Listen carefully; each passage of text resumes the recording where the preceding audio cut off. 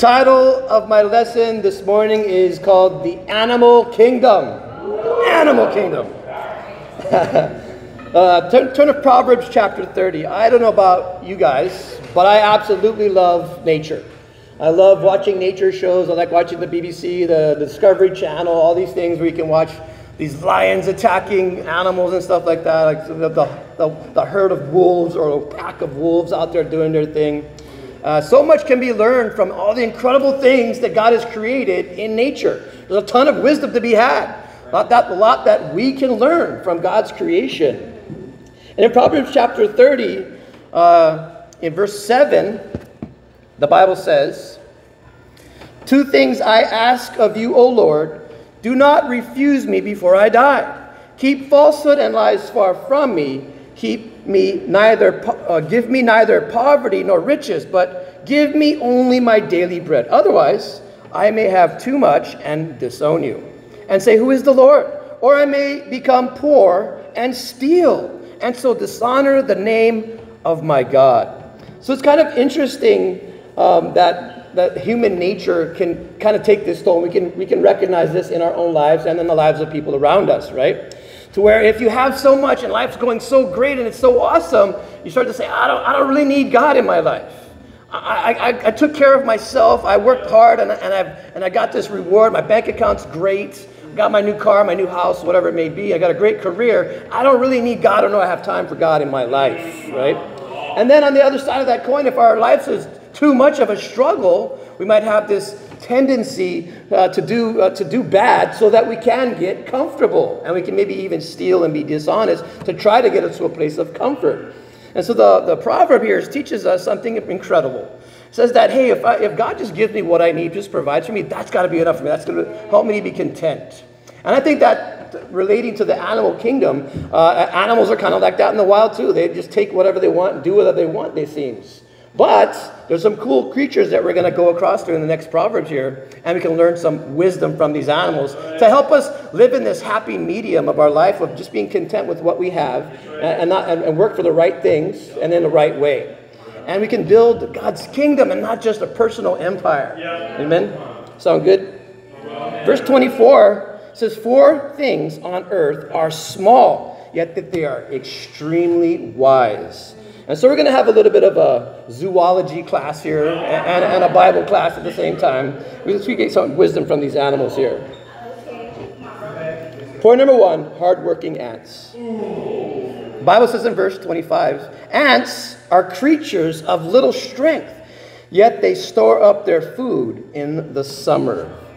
See, an ant here alone is small and weak, right? Just all by itself. You can imagine an ant walking on the floor with these crazy giants stomping all over, all around it, right? And they're small and weak by themselves. But it says that they're wise enough to know that there is strength in numbers, and that's why you don't ever see solitary ants. There's always a pile of them whenever you see ants, right? They have that strength in the numbers, and they do take care of and work hard and store up food, and they take care of each other, much like disciples do. Ants can be found on every continent except, you guessed it, Antarctica. Fun facts. Isn't that odd? It's not so odd. Check this out. We have a church on every continent except Antarctica. you can't make this stuff up. But who wants to go on a mission to Antarctica? Evangelize the penguins. Check this out more fun facts about ants. Okay? You guys want some more fun facts about ants? Most ants can survive underwater for about 24 hours, which is pretty incredible. Disciples, of course, were fond of baptizing people, and you'll never find us too far from some water. Amen? All the ants in the world weigh as much as all the humans in the world. That's how many ants are out there. There's a lot of ants out there. Jesus, as well, took the weight of all the sin of all the humans onto his shoulders, which is awesome. Check this out. The largest ant colony ever found was 3,750 miles long. So ants get around. Amen? They get around. Of course, the disciples are called to evangelize the world in a generation, right? And we get around the world. Now, check this out. Ants are the longest living of all insects. They live sometimes to 30 years, which is a generation, approximately 30 years. Ants move an estimated 50 tons of soil per year in one square mile. Disciples can move mountains with the faith of a mustard seed. Fire ants cause a lot of damage. We know all about, if anybody does any yard work around here in Hilo, you know all about fire ants, right? They cause around $5 billion worth of damage a year in North America. That's how destructive they are. Check this out. Porn industry is worth over $4 billion a year. That's how much is made in the porn industry. With enough disciples, we could destroy the porn industry. We could combat that and beat it and destroy it. If we have enough disciples.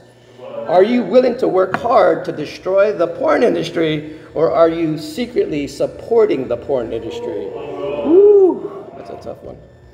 Some ant species are asexual. They actually clone themselves and do not require any males. So singles, you don't really need a spouse. It's not, it's not something you need. But high five to all my married friends, or high five, because it's pretty awesome to have a spouse. but disciples do clone themselves. Disciples make disciples. So in that way, we're like ants as well.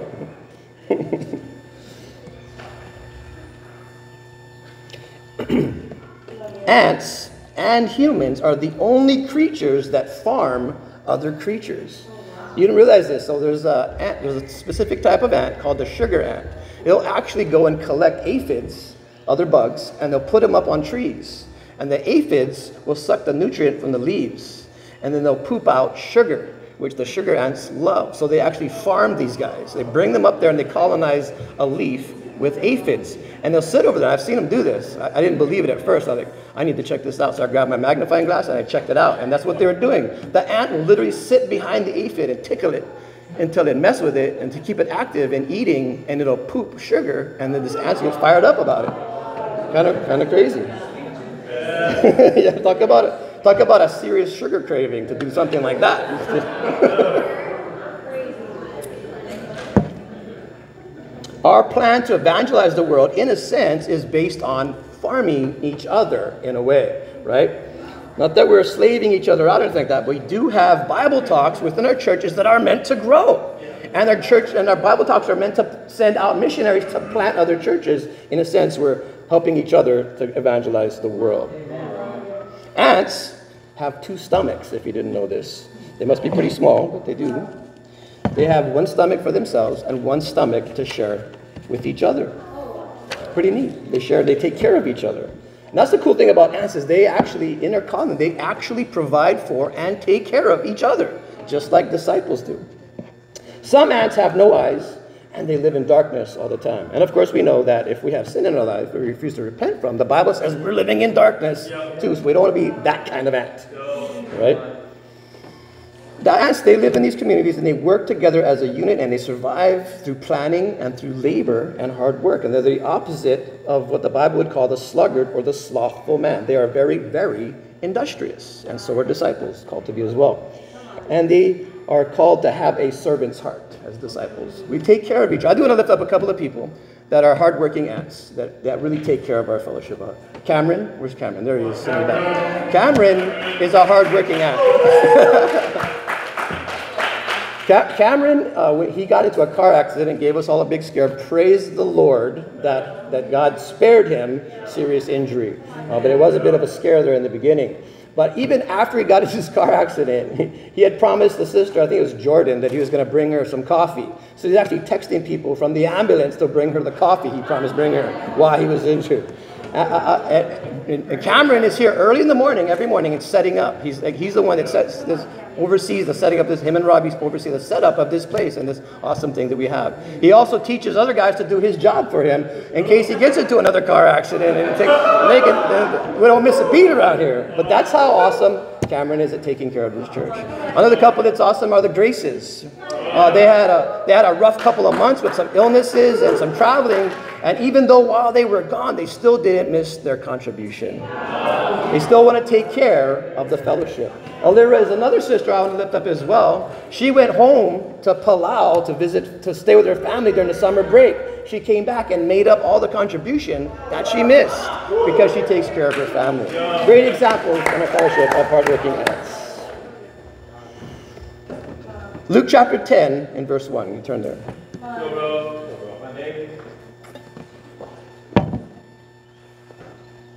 The Bible said, After this, the Lord appointed 72 others and sent them two by two ahead of him to every town and place where he was about to go. He told them, The harvest is plentiful, but the workers are few. Ask the Lord of the harvest, therefore, to send out workers into the harvest field. So here we have Jesus sending people out to do good works that God has pre- prepared in advance for them to do out into the harvest field to help other people become Christians. So we, as disciples today, we are God's worker ants. And we're sent out into the world to work in his field, to share our faith, to spread the gospel message of salvation to the lost. And like the ant, there is strength in numbers. We need each other to do it. We need to go with each other to do these things, or we won't be effective in accomplishing this great task. Together, we can work hard to reap a harvest for God. Satan, of course, we know is trying to wipe humanity out and eradicate and exterminate all of us disciples. That's what he wants to do. So we have got to work hard to combat that. Challenge be a hard working ant in the harvest field of the Lord. Point number two the power of the coney. This is an interesting creature. I had to look it up, I've never heard of it says that they have little power and that they make their home in these crags. So I studied it out. What are they? It's actually uh, from Hebrew translated to a rock badger. So it's interesting. They look kind of like a guinea pig, and you guys might be googling up, them up right now, possibly. Well, what is this creature, right? It's a little mammal, and it looks like, like I said, it looks like a guinea pig kind of. But it's actually related closely to an elephant, of all things. I don't know. That's what Google told me. Must be true. So their, their habitat, their habitat is in the landscape with rock crevices, and they use this to escape from predators. They don't have any claws or teeth or venom to protect them, but they do have a large male protector that stands watch, kind of as a sentry, while the others go out foraging in groups. So he kind of warns them uh, when the prey is, uh, the predators are coming, and they go hide in the rocks. Right. So check this out: they're preyed upon by leopards, uh, cobras, adders, pythons, wild dogs, wolves, hawks, even owls and eagles go after these things. So like literally everything is these guys' enemy. but somehow they survive in this harsh environment. What makes them so powerful and so successful? Well, the power is found in their wisdom, right? Their system of sentries and their refuge in the rocks. Check this out Ezekiel chapter 33. You don't have to turn. It says in verse 7 Son of man, I have made you a watchman for the people of Israel. So hear the word I speak and give them warning from me. So, of course, God ultimately is our large male protector. That's who he is. That's who he is. But he does have us be watchmen for each other as well. As disciples, we do need to have watch out for each other, right? Are you being that watchman for your brothers and sisters around you? Warning them about danger. What kind of danger is out there for their brothers and sisters? Literally everything is preying upon disciples, trust me. so if someone seems to be in sin, we need to bring it up and not just let somebody else handle it. We need to be that watchman to warn each other. Turn to Psalm chapter 61. All right. All right,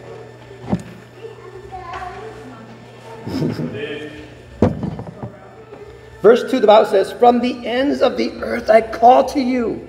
I call as my heart grows faint. Lead me to the rock that is higher than I. For you have been my refuge, a strong tower against the foe.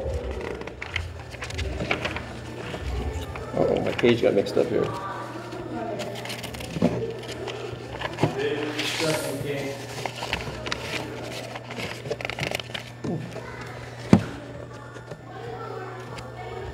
Our own sense of weakness should drive us to take refuge in a rock that's higher than us, right? Of course, Jesus. And we have to understand that without Jesus, we truly are powerless. We need to be close to Jesus to be safe from these predators that are going around. So we talked about it in our, uh, our uh, class last night for the uh, singles devotional. We did a Bible study on our predator, the Satan who comes after us. He's a real foe. He's not some little pointy-tailed little creature that's cruising in hell with a pitchfork waiting to torture bad people that didn't listen to their mommy and daddy or something like that. No, he's down here on earth and he's roaring lion looking to devour us. He's a real foe. He's, he's as real as it gets. And he's after disciples more than anything else. And the only protection we can truly have is to be close to Jesus. And it's so important. I, I want to put forth a challenge. I know I gave the one a day challenge for the past few weeks, right? Uh, have one great quiet time a day. Uh, reach out to one of your brothers and sisters every single day. Uh, meet a new person and invite them to Bible study or church at, at least one time a day, right? I want to add that to the quiet time challenge. I want to, I want to challenge all of us so whatever you've been reading, if you're reading a certain book or you have a series you're reading or whatever it may be, add some Jesus' teachings in there. Make sure you're reading something about Jesus from the Gospels because he is that rock that we have to stay close to. I think Satan has been taking people out of this, uh, out, taking people out. He's been taking people out for thousands of years, and he's come after our church hard this year. We had a rough year with, with Satan coming after people. Yeah. We just need to be close to Jesus. Right? And when we're close to Jesus, we won't have time to beef with each other. We won't have time to get tempted by the world. When we're close to, when we're close to that rock, in that refuge, nothing's going to take us out. We're going to be just fine. So no scrapping with each other. Be close to Jesus. Let's be like that coney, watching out for each other and finding shelter in Jesus' rock. Point number three, marching with the horde. Verse 27. Locusts have no king, yet they advance together in ranks. Locusts are an interesting creature. They're normally solitary and they actively avoid contact with each other. But when the conditions get just right, particularly after lots of rain, contact becomes unavoidable. They start like gathering together and they form these huge hordes of insects. And they bump and scrape against one another and they begin to change and they become different. In an hour or so, they, they start to create a big giant swarm and they actually change into like a different creature. They're no, they look like boring and brown and dull. And then all of a sudden, as, they, as the serotonin levels increase, these normally shy and solitary insects, they actually become social and crave more contact with each other. And they actually start turning into a different looking creature. They're bold and yellow and green rather than that neutral brown. And so these two phases, they look so different that until the 1920s, scientists thought they were completely different creatures, but they weren't. It was the same thing. They just metamorphosized, if that's even a word. Yeah. It probably is. Don't check Google. so the adult locusts, they can actually fly, and the little guys are called hoppers, and they bounce together. But they come together and they hoard up against each other, and they go around the world. Uh, they can travel as much as 100 miles in one day. In 1954, a swarm of locusts flew from Africa all the way to Great Britain, decimating all the crops in their path. Back in uh, 1988, a, a, swarm made it across from Africa all the way to the Caribbean. Somehow, they made it even across the, the oceans. Kind of like us, right? Disciples. After baptism, we become a different creature. But we're, we're supposed to, right? We're not supposed to be solitary, lonely creatures that are, are dull and boring. We're supposed to be exciting and vibrant and fired up and craving contact with each other.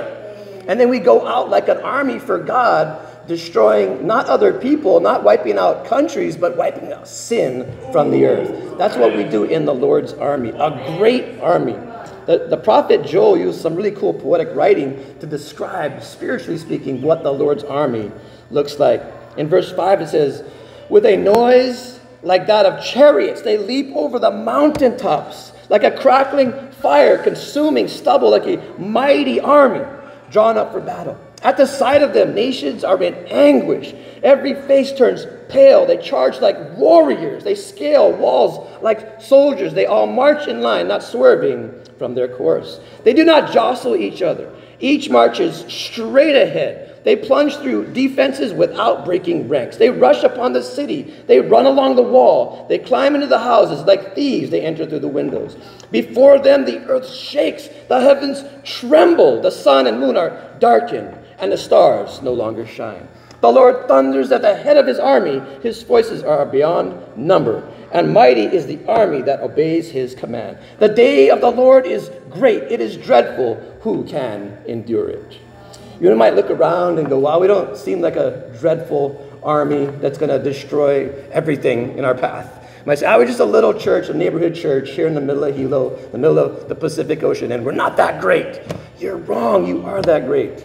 Open your spiritual eyes and see the, the gigantic army of thousands upon thousands of angels marching with us to victory for God. See, there's so much sin in the world that needs to be conquered. All you have to do is turn on the news, and I can say it Sunday after Sunday. It's bad out there. There's so much wickedness and sin in the world. Even in our own neighborhood, there's sadness, there's despair, there's loneliness, and there's bitterness, and there's depression.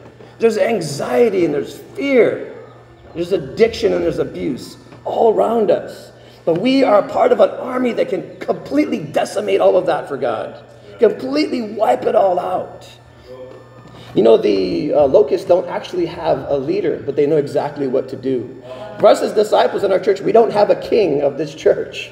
We don't have that kind of leader for this church at all. Jesus is our king. He's up in heaven. He's not physically here with us walking as a man anymore. But he is indeed with us, and we know exactly what we need to do to defeat sin in this world. And we can do it, and we are doing it. Not only here in Hilo, not only in Kona, not only in Honolulu, but yes, the entire world. Next weekend, the Army is going to get together from all over the world in the GLC. And I'm so proud of everybody that could make it and for everybody that's staying behind that helped out people that are going. I really appreciate each and every one of you. We were able to raise some money to help a sister that had a, an emergency with her family. We were able to raise some money to get her to go because she really wanted to go. And she told me to tell the marrieds that helped out, thank you so much. We really appreciate you. Yeah. And I, I want to challenge and encourage the church to please pray for all of us that are traveling. Uh, pray for all the speakers at the GLC and all the other disciples there. Uh, yes, there's still a COVID going on around there, and so we want to be, be safe and come back nice and healthy and get fired up to advance to God's army when we get home. But please pray for all of us while we're traveling. I, I personally, like, I'm going to be open with you guys. I don't like traveling. I hate traveling. I want to stay right here in Hilo. This is where I want to be. I don't want to go no place else. I don't want to visit any place else. But I know it's good for me. And I know it's good for us. So I'm fired up to go. I'm not having regrets about going. I just don't like it. but I'll do what I got to do. I know, I'll do what I know what's right. I'll get, I'll, I'll, I'll tell you, I'll, I'll, tell you what I'll do. I'll get my heart right about it on Tuesday, okay? All right. I'm kidding. I'm, I'm, fired up to go. I'm really looking forward to seeing everybody. Uh, point number four the boldness of a gecko. Yes. Where is he? You have geckos in the Bible? Sorta. we got him. We got him here. That's for sure. A lizard can be caught with the hand, yet it is found in kings' palaces. Lizards, like disciples, they're highly adaptable creatures, and you can find them everywhere. Some lizards can change color to suit their environment, or depending on their physiological or psychological state. I didn't know lizards had psychological states, but this is what they're saying here. Another Google thing. Paul, though, he's like a gecko.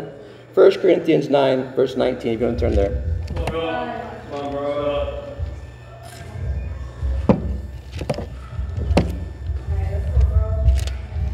The Bible says, Though I am free, I belong to no man. I make myself a slave to everyone to win as many as possible. To the weak, I become weak to win the weak. I have become all things to all men, so that by all possible means I might save some. I love Paul's heart here. He says, I'll do whatever it takes to relate to people around me. If you're, if you're weak where you're at, I'll come be weak with you. If you're strong where you're at, I'll come be strong with you. If you're, if you're having a hard time in your life, I'll have a hard time with you. He says, I, want, I just want to win some people over. I just want to help people to know Jesus, to have a relationship with Him, and to make it to heaven. He's willing to do anything and go anywhere to make it happen. There's even a lizard called a basiliscus lizard. I know, I might not be pronouncing that right, but it's also known as, check this out, the Jesus lizard. Why they call it the Jesus lizard? Lizard, this thing can walk on water.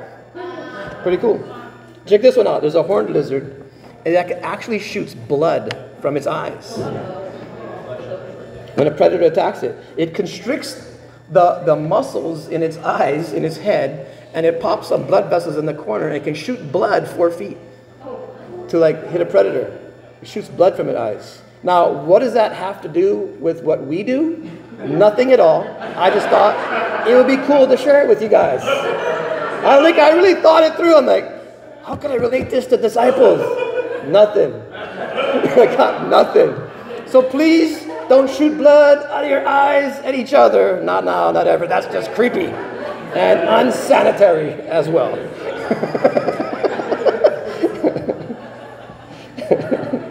the proverb does say that this lowly creature can be found in the castle of a king and you can catch them with your hand. And we got these lizards in our house, these, these geckos, they're everywhere. They're, like, they're all over my house. And you can imagine being a lizard in a house with the humans, and sometimes these humans have pet cats that stalk them and bite their heads off and leave them lying around. And yet they still hang out. They're not afraid of anything. They could care less. My, the geckos at my house, they could care less if I'm there. They're like looking at me like, what are you doing here? I'm like, get out. Like, no, no, no, I was here first. You're just renting. Those lizards are bold. Like they don't care about me or anything else. My son, he like crushed one in the in the sliding door and put it in his mouth. And his buddies didn't even leave. Like if I saw something like that happen to one of my friends, I'd split out of that house. the lizards didn't get the they, like I'm not gonna stay here. This is our house. Like I said, you get off my porch. You know. For us as disciples, we need to be bold like that right? So like sometimes we can get insecure when we're out reaching out to people or sharing our faith. Like I, I don't know if I want to share my faith with my boss who has power over me and control over me and, and it controls my hours and my paycheck. I don't want to weird my boss out about sharing my faith, right? I, I'm, I'm afraid and intimidated by my boss. And I'll just share with my lowly coworkers. No, no, no, no. We need to share with everybody. Yeah. We need to boldly go into any situation. A disciple of Jesus belongs there. A disciple of Jesus, wherever you're at, you own that place. That's your house that you're there in. People are intruding on your space, and you need to share with Jesus about them. We can't be intimidated by people. Yes, we need to reach out to the lowly people that are on the streets and they're addicted and they're homeless and stuff like that. Absolutely not neglect them.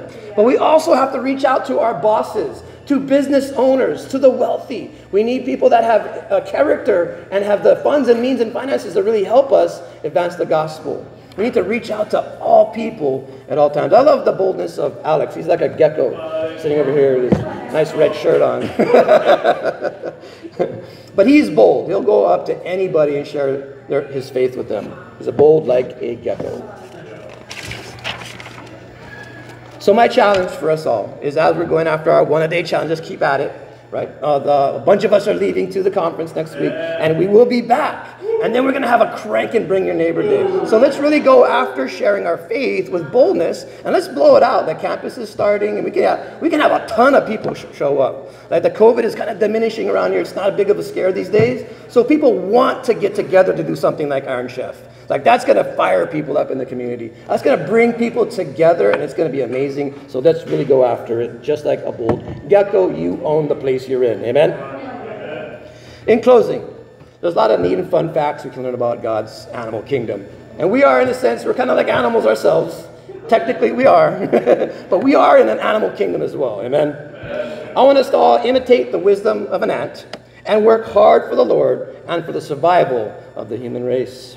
I want us to be like a coney. Watch out for your brothers and sisters and stay close to Jesus, the rock. Let's learn from the example of the locust and conquer sin in the world as we march unstoppably heavenward.